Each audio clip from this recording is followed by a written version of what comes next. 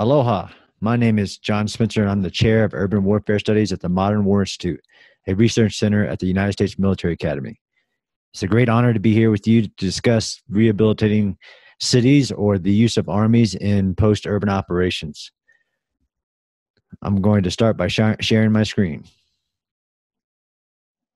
So, the picture you see here is in Japan in 2011 after the tsunami off the coast you know, over 100,000 members of the Japanese Special Defensive Forces were rapidly mobilized to deal with the crisis that happened after that tsunami, which had a very heavy urban component. I think it's one of the many case studies that we could use for post disaster or post conflict rebuilding of cities. And case studies are important. So, case studies tell us what the known, unknown, and unknowable is about really any situation where we're doing rehabilitation or post urban operations missions using our armies. And there are many case studies that we could use post conflict or post disaster, ancient world to ongoing reconstruction or rehabilitation projects that are happening today. I like to look at Carthage because Carthage is a very famous city that was destroyed, but it was also a very famous city which was reconstructed. It was actually Caesar after his plan, after his death, was put into place and Carthage was recreated and became the jewel of of the Roman Empire again. Or you could look at World War II as a very great case studies, many case studies of what it takes to rehabilitate a city that's been damaged. Everything from Cherbourg, which is the first city that the U.S. military encountered uh, in the operations, to Paris, major city that much reconstruction and rehabilitation was done in berlin all the way up to current disasters which unfortunately we have many of them because of the urban nature of our littoral cities and the increase of global warming. From new orleans 2005 during operation hurricane katrina to the tsunamis that hit the coast of indonesia in 2011 current operations in the Middle East and cities that are being rebuilt after having to fight the Islamic State, where you talk Raqqa, Marawi in the Philippines. Um, we have many examples, I think, and these are important examples to look at how we move forward and what lessons learned we take forward with us during those operations. So armies are, of course, used in you know across time in rehabilitation and reconstruction projects. And here i've listed from you know my wide view of operations how the armies are used. I mean, of course armies are used for rapid command and control of very chaotic situations and we provide that with all of our leadership and expertise in command and control. Those are of course multi-agency command centers. Not saying the military will be in the lead sometimes in a supporting or supported role but we have the experience of standing up rapid command cells and you'll see that across time uh, up up until today. Search and rescue you know armies can do that. Many advancements today using dogs for search and rescue to using drones to assist in search and rescue or in communicating with civilians. Delivering and securing immediate aid of course is, is always an immediate need. The priorities of human life and sustaining human life food, water, medical care. We, have seen this across time how armies are used for that. Um, and we have to look at our lessons learned from each one of these case studies, whichever ones we choose, to see what was done right, what was done wrong, what could be done better. Um, and, and you really need a repository of this as we move forward to look at how to support better in these major operations that I highly believe will continue. Even in delivering of aid, crowd control doesn't always keep you know rise to our attention but it becomes a major operation especially in urban situations. The, the picture on the bottom right is um, in haiti after the port-au-prince um, earthquake shook the place. If any military force which presented themselves with aid they were mobbed just because the, the people were in such need um, but it became a major operation to to to show soldiers and to plan how to deliver aid while still keeping in mind about this basically crowds that will form immediately.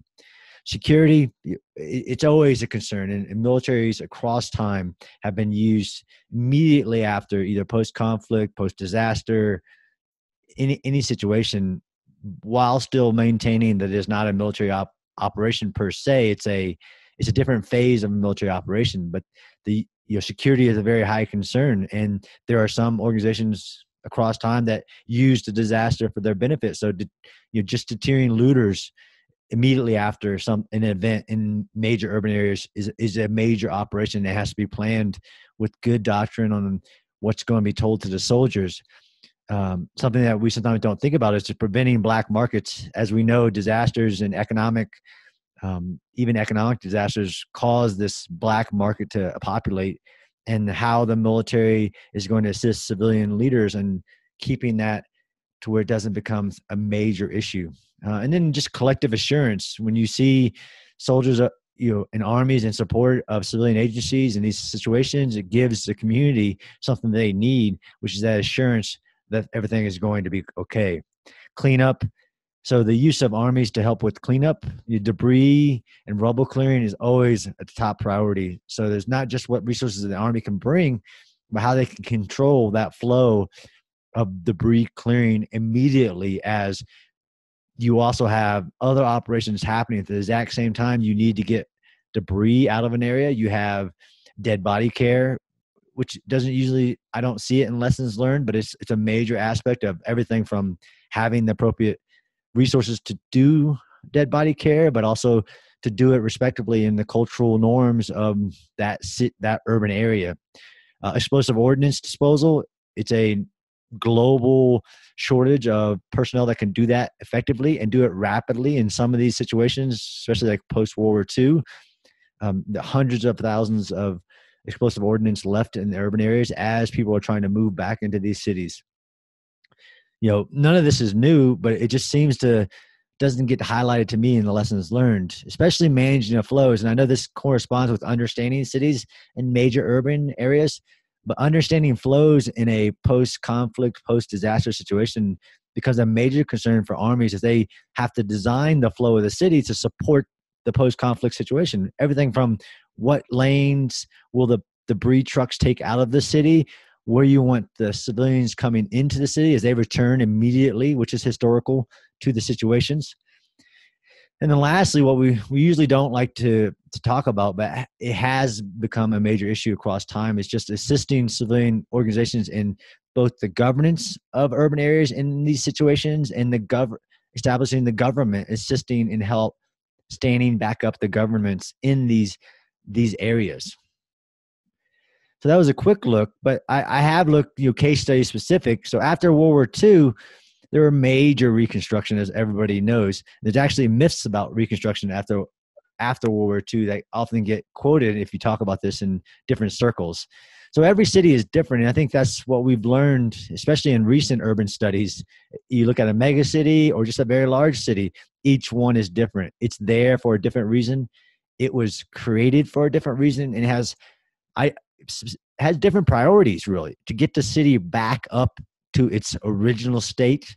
Um, and then I think number one for armies, especially if we're talking very operational level, high level armies, rebuilding cities is not rebuilding nations. And that's a big problem in this field of study is most of academic communities, most government organizations are designed to rebuild nations or to assist in nations in catastrophes, not cities. And some cities are bigger than some nations and it's it is different. So after world war ii it, they had to recognize that each city was different that you need specialized workers to assist in urban task but also every decision about rebuilding is political and we all know that. In in warrior scholars we should know that. Um, and after world war ii most people will say well yeah you know the the marshall plan helped rebuild the european countries. And that's a myth. And it really is a big myth in if you talk about rebuilding of cities. Um, if you look at japan and the soviet union you know there was high level national guidance that came from from them um, versus the rebuilding of germany cities which is really local. Um, in all the situations of course resources is needed to rebuild and rehabilitate everything but it is how you funnel those resources into the different environments that becomes a major issue that has to be designed with these organizations that get stood up which the army is always a big part of um, and rebuilding the decisions on the on the future too. So you know it's, it's again a civilian function but what the decisions that get made about what to rebuild and how to rebuild it have a major impact on the future of any urban area. And there are many classic examples of that in history. So in in Warsaw after World War II in, in Poland, Warsaw was just was destructed by 85% of the city was destroyed. And it was destroyed so much that they didn't remember what it used to look like. Um, and it had to be reconstructed off the 18th century painting of the city. And they, the community was very adamant that they would reconstruct what used to be rather than something new. And that becomes a major debate when you talk about what are we going to rebuild. And you different agencies that you listen to will say, well, we need to rebuild, you know, build it better. So build bigger streets, make it more um, functional. You know, r- these are macro level decisions that, but armies will be involved. And the amount of knowledge that we have and can help in this shared multi-agency commands does have an impact on the future of these cities. Matter of fact, scholars say that those cities that reconstructed towards historical standards, everything from street plans to historical sites, do much better than cities that were reconstructed in modernist views. So you're taking the advantage to say, okay, let's make these streets bigger. Let's redesign the, pat- the street patterns the cities that went more traditional have done much better and that gets you to this rebuilding of the the city back to a historical and, and many of these cities again are they they are living organisms that are there for a reason. I mean carthage of ancient rome was a major city for centuries for a reason of, of its location of its cultural importance. Sometimes we we as scholars forget that when we talk advising about okay reconstruction we need to get the debris out of here we need to restart rebuilding buildings but each city is different so this is the damage caused by the hurricane katrina in the united states in louisiana in 2005 the the most destructive natural disaster in the united states history it impacted over 93,000 square miles and left over a million people homeless, 160 billion dollars, um, and I think that there's a lot of lessons in it. If I had a case study portfolio for helping armies understand how to, you know, the different um, political, logistical, all the different requirements that we all want to prepare for in our planning and wargaming, um, I, I, would definitely include Katrina in there. Um, over 15,000 U.S. troops were deployed to assist in all those support operations that I talked about at the beginning of the show or presentation. So the big lessons from Operation Hurricane Katrina at the at the very highest levels was that you know you needed different types of plans to rebuild cities, and they they just weren't there. Again, we had this nat, nation state focus. You needed different types of organizations stood up to assist cities in rebuilding and different funding as i told you you know lots of resources will be, be given to the situations but there's not necessarily the right type of organizational funding mechanisms to get the money to the cities and i think one that always hits me is experts in city building after crisis there's actually a, a global deficiency in that whether you go, look to ac- academia you look to the military the amount of specialists we have in rebuilding urban areas, despite the urban nature of the world, is actually low.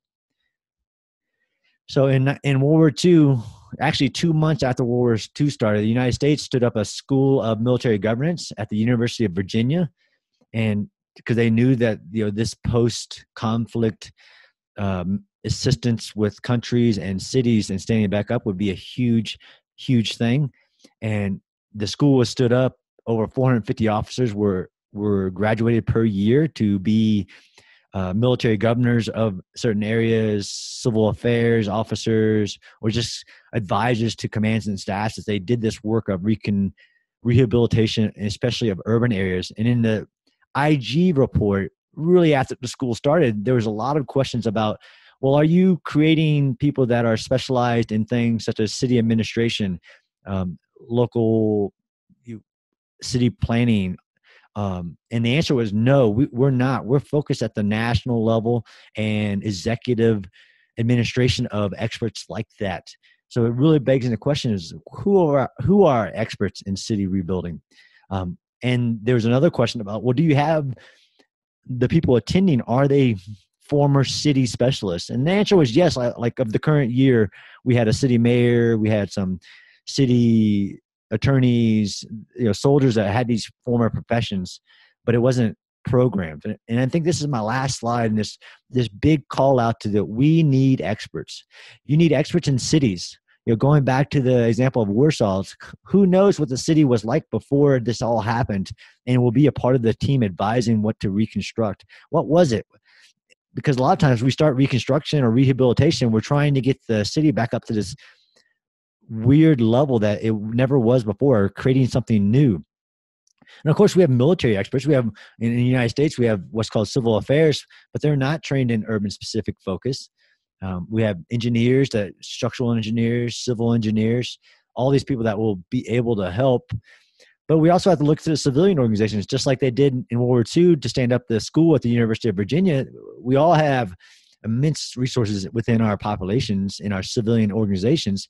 But again, finding the city specific experts. We almost need like this Rolodex of experts. So the next time a disaster happens, here are the people that we're going to assemble a part of our joint multinational teams to assist in, in these areas. And then I think lastly, the hidden factor. So just like that question to the World War II school is, well, who in your formations is not necessarily a specialist in the military function, but who is, has history. Um, everything from people that were former mayors to people that know how power works. And, and are, are we able to identify those people quickly and to use those resources? So, with that, I'll close. I think this is a very important topic, and we have a lot of work to do in preparing for the future and both looking at the lessons learned and knowing who our experts are. Thank you. From all of the folks here at the Modern War Institute, we would like to thank you for watching our videos and invite you to explore our podcasts and our webpage linked below.